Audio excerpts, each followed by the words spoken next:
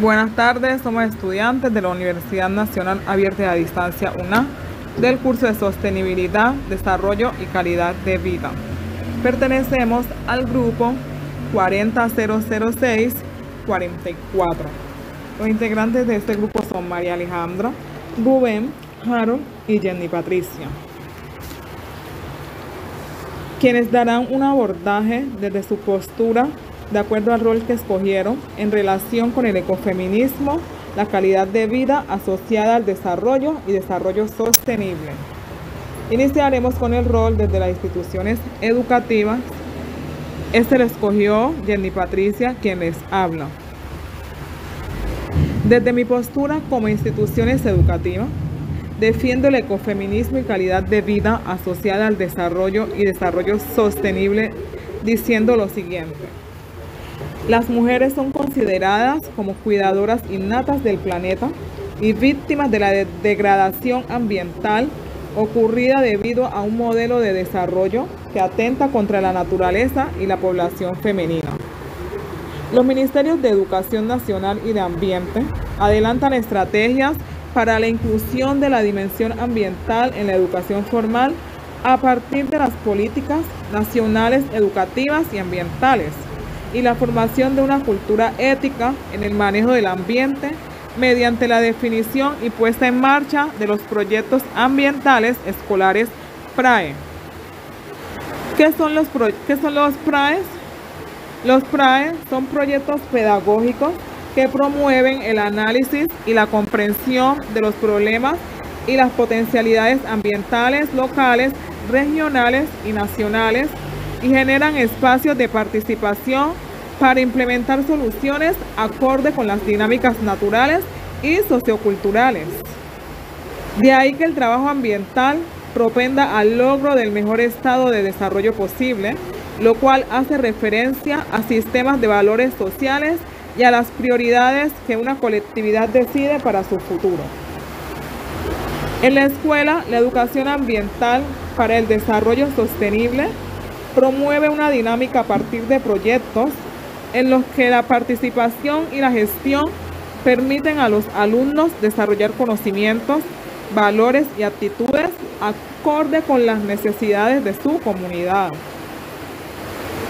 La inclusión de la dimensión ambiental en el PI mediante los proyectos ambientales escolares PRAE da la posibilidad de integrar las diversas áreas del conocimiento, disciplinas y saberes para la solución de problemas de manera interdisciplinar y propiciar la formación en el conocimiento y comprensión de la ciencia, la técnica y la tecnología desde un marco social. ¿Cuál es el papel del maestro en esta temática?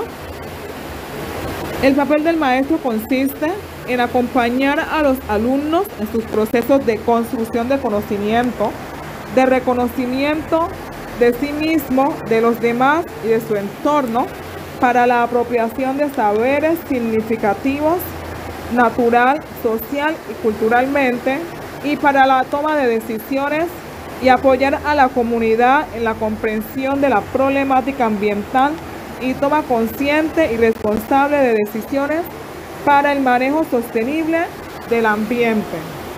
De esta forma he terminado mi intervención le cedo la palabra al compañero Rubén, el cual también les dirá desde qué rol defenderá su postura. Muchas gracias. Buenas tardes, tutor y compañeros. Muchas gracias, Jenny. Me permito socializar mi aporte de la lectura desde mi enfoque, que es el Estado. Un resumen de la entrevista con Silvia es que trata sobre la idea de la crisis de la reproducción social y su relación con el sistema capitalista. Explica que la agenda neoliberal ha llevado a una crisis en todo el mundo, donde la gente está siendo desposeída de los bienes básicos para su reproducción. Las luchas de la defensa de la tierra son muy importantes eh, en este contexto, ya que están poniendo un freno pues, al avance de las relaciones capitalistas. En estos movimientos hay un reconocimiento de que la lucha por la justicia social y la protección del medio ambiente están interconectados y que ambos son fundamentales para lograr un futuro justo y sostenible pues para todos. Estos movimientos eh, buscan construir alternativas al sistema capitalista y crear relaciones más equitativas y democráticas entre las personas y la naturaleza. Lo interesante es que en las últimas décadas también hemos visto un crecimiento de la agricultura de su existencia en zonas urbanas y metropolitanas, como los huertos urbanos en Estados Unidos. En estos casos muchas veces son inmigrantes las que lideran estos esfuerzos y aprovechando los terrenos abandonados y prácticas de autonomía que traen consigo desde su cultura. Ya hablando sobre el enfoque del Estado, eh, basándonos en Colombia, la postura del Estado se puede inferir que en cuanto a la relación entre el medio ambiente y el desarrollo se basa eh, en un enfoque más tradicional de la economía y el desarrollo, con un fuerte énfasis en la explotación de los recursos naturales. Eh, en este texto de la entrevista se mencionan las políticas de crecimiento económico y desarrollo. Como parte de la agenda del Estado colombiano, se menciona que la construcción de megaproyectos ha sido uno de los principales motivos de desplazamiento de comunidades y afrodescendientes. Lo que sugiere que el Estado eh, ha apoyado estos proyectos a pesar de sus impactos negativos en las comunidades locales y el medio ambiente. El Estado colombiano todavía tiene un largo camino por recorrer en cuanto a la integración del enfoque ecofeminista y la sostenibilidad ambiental en su agenda de desarrollo. Es importante destacar que la situación de los pueblos indígenas en Colombia históricamente se dice que han sido víctimas de discriminación, violencia y despojo de sus tierras y de los recursos naturales que tienen. El Estado ha sido criticado por su falta de acción efectiva para proteger los derechos de los pueblos indígenas y garantizar su participación en la toma de decisiones que afecten a los, territorios anteriormente mencionados. Eh, yo sé que el Estado colombiano puede contribuir a la implementación de prácticas ecofeministas en diversos sectores y políticas públicas, como la educación, la salud, la agricultura, la energía, entre otros. Asimismo, se puede promover la participación activa de las mujeres en la toma de decisiones y en la construcción de políticas públicas, reconociendo sus aportes y conocimientos en la gestión ambiental y el cuidado del territorio.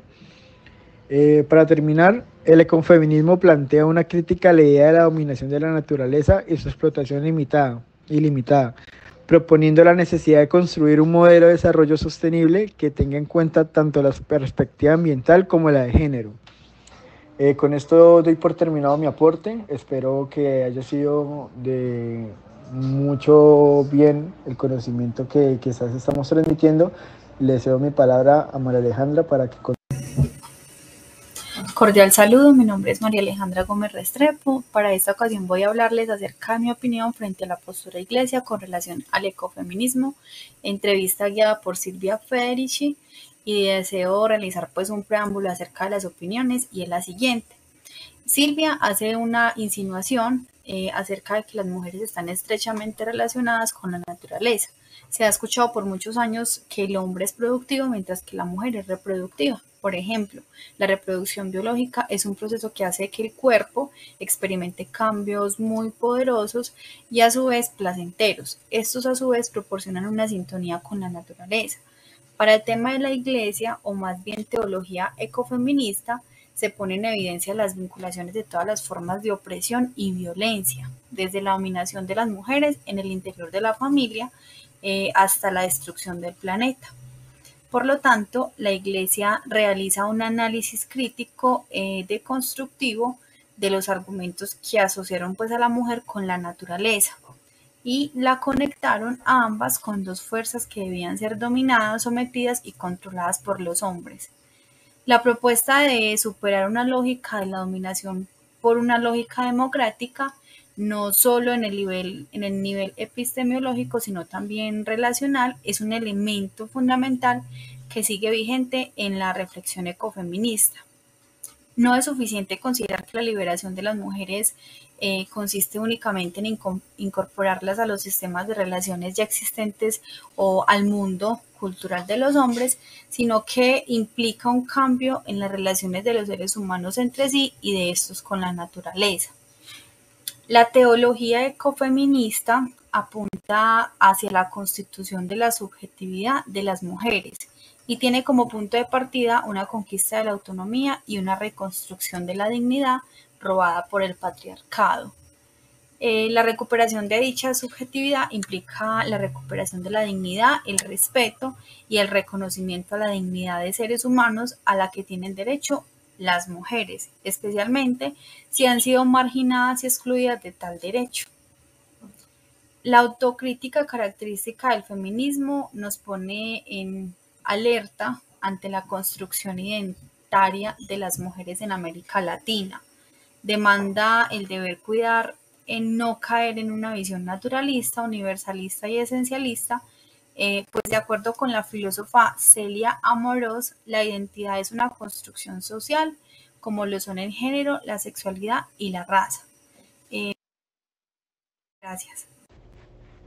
Hola, muy buenas tardes. Mi nombre es Juan Camilo Montoya Cosio. Eh, el tema con el que continuaremos será el rol escogido por mi persona, que es el rol en la parte empresarial. Bueno, continúo. La mujer en los últimos siglos ha sido eh, discriminada en la parte laboral por el simple hecho de que fue anteriormente destinada a ocupar puestos pequeños en empresas, como decir ocupar un cargo como secretaria, y no permitiéndole tener un cargo de gerencia eh, por decir que no cuenta con la capacidad de mantener el puesto. Anteriormente esta idea se promovía mucho, pero en los últimos años se ha visto un gran cambio, permitiéndole y no obstaculizándole las capacidades eh, de avanzar a la mujer, digamos, en obtener grandes cargos y que puedan demostrar sus grandes capacidades de manejo y liderazgo en proyectos y permitiéndole una mejor calidad de vida. Eh, eh, se podría decir que pues anteriormente en los siglos pasados, claro que esto pues ha venido cambiando mucho, pero eso se evidenció mucho digamos en la parte de la discriminación anteriormente porque el hecho de ser mujer no le permitía eh, generar una misma competitividad o productividad laboral ni generando el mismo rendimiento eh, aparte de eso generando una discriminación eh, en la parte sexual, obstaculizándole también el ascenso eh, a la mujer y no permitiéndole crecer laboralmente por medio, o sea, digamos, se le permitía así, pero avanzar en empresas, pero por medio de favores o pues por caminos fáciles, no digamos permitiéndoles demostrar su talento. pues eh, la mujer tiene muchas capacidades intelectuales y de manejo para poder ejercer un gran cargo manejando alguna empresa.